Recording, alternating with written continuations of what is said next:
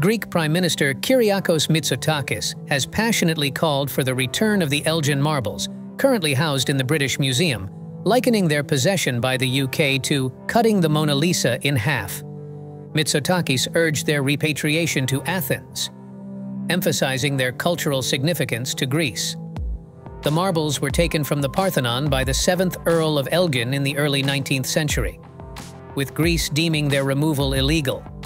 Mitsotakis, open to negotiations, suggested lending other Greek antiquities to the British Museum in exchange. He drew inspiration from the recent reunification of the Parthenon's frieze. Despite tensions with Turkey, Mitsotakis believes in resolving disputes through dialogue.